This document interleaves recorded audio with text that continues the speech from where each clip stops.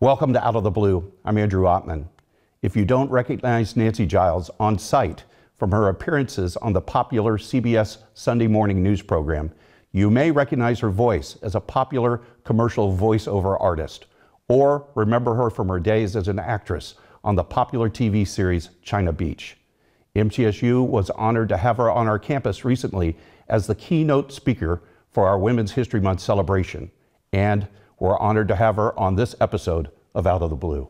Nancy, welcome to the show. Andrew, thank you. I, this is this is a treat. This is an honor. I, you know, I I should just go ahead and warn the viewers. We've known each other for a while. I know. Yeah, I know. We're Here we go. Adding up, and it's been almost 20 years, 20 like 18 years. years, something like that. Yeah, and uh, from my days when I was an editor in Wisconsin, we have a mutual friend. It was the pastor of our church. That's right, uh, Pastor Jane. Uh, pastor Jane, and of course that you know, means the world to my wife Elise and our family that you're here Oh, in Murfreesboro on the campus of Middle Tennessee State University. I'm so excited, and the campus is great, and uh, the students are great, and it's a beautiful day. So, what's to complain about? We've had a great day, and uh, you are a keynote speaker for Right. Women's History Month, and uh, we'll talk about that in a minute. But I really would like our viewers to know who Nancy Giles is. I think they do. I we've we've we'll have introduced you and everything like that. But tell tell you know there's so many ways to describe what you do. You're, you know there's so many labels about actor, uh, uh, commentator. Uh, how does Nancy Giles describe Nancy Giles? That's a really interesting question, and and actually, I think a key to what I do and who I am has to do with a job that I got early. Well, one of the biggest breaks I got in my career, which was touring with Second City's national touring company when I was right out of college, and learning improvisation skills and through that, figuring out how to kind of handle situations as they come to you. Mm-hmm. And it also was a way of reinforcing the fact that you can write standing on your feet. An actor's career, a creative person's career, has a lot of lapse time where you might not be working. And I desperately wanted to express myself. So I found different ways to do that, I guess. And you, and you really did. But let's talk a little bit about uh, Sunday morning because that uh, um, so many people now recognize you from that. You've, you've been doing this now for two decades. How did you? You've talked about how you you connected in- originally to the program through Aaron, but uh, what are the things that that gravitate to you the most? I mean, how does your commentaries get from idea to the television screen? How do you pick the things that you talk about? You know, that's a really good question. I think most of the things, most of the commentaries come out of something that I've experienced or something that I've had a burning desire to talk about. And I like to do those pieces in a funny way, even if it's about things that are controversial.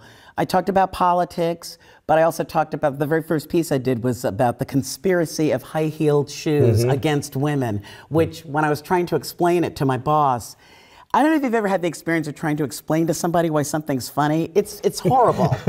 it's horrible. In fact, I was saying it, and I could just feel my posture begin to like. And I thought, okay, I'm never going to be doing anything on this show. And then I got a call saying, "Hey, we have you down to do this thing on high heeled shoes." And I was like, "What?" So, um, but a lot of it comes out of things that have been on my mind, and then more political ones. When when Bill Cosby was uh, accused of the crimes that he was accused of, I did a piece on that. When um, Hurricane Katrina happened under George W. Bush's watch, I did some things on that, and they've they've had very serious subject matter as well as as more humorous. You spoke to one of our journalism classes. Yes. And you, you- I want to give you the chance to repeat a piece of advice you passed along to one of our students, which was make sure you're reading. Oh yeah, And- and talk It's- about that to, to the parents and to those who, you know, needing, needing a piece of advice from Nancy It's Giles. so important. You know, I was lucky. My parents both were readers. We had encyclopedias. We always had books around. And uh, I can remember getting in arguments with different brothers and sisters. You know, who has volume S? I wanted that, you know, just because we were looking at different things. Broaden your scope. Don't just, if, if you're interested in one topic, don't just stick to that. You know, you, you'd be surprised in this day and age how sports, entertainment, politics, the economy, science, how they're all kind of connected. Mm-hmm. They really are. And it, it, it brings you a, a, a better story if you have more ammunition, if not a better way to put it. You know, more facts on your side. So you were the keynote uh, speaker. It was exciting. we, we um, we're happy to have you as the, the centerpiece of our Women's History Month Thank you. Uh, events here on campus. What was your central message in, in your in your speech to the students? Well, you know, I was all over the place about a lot of stuff, but I think the I hope the main thrust was that for for women, for everyone, but for women especially, our our stories are really important and we all have stories, even things that might just seem to be simple and not as meaningful. They're so important. The, the opportunities that are there to to tell our stories, to keep our histories going, just to show the different advances within one's family or within you know our gender. It's just it's really important. I, I really hope people had the takeaway that women's stories are important and our voices have to be heard. And it's it's up to us to keep those stories coming you know? They're all of value all of them. Nancy uh, you can find your videos of course on youtube. If i right. if i search uh, nancy giles cbs sunday morning a whole, whole bunch of them come up. Oh good. But uh, you've also got your, your voices are, are, on a lot of other platforms. How do I find those? Okay, so uh, you can go anywhere you listen to podcasts and subscribe to the Giles Files podcast. It's just the Giles Files, not mm-hmm. podcast. And um, people can happily, if they want to write me or tweet me, it's at Nancy Giles NYC. So I, I love to hear from people. It's fun. Nancy Giles.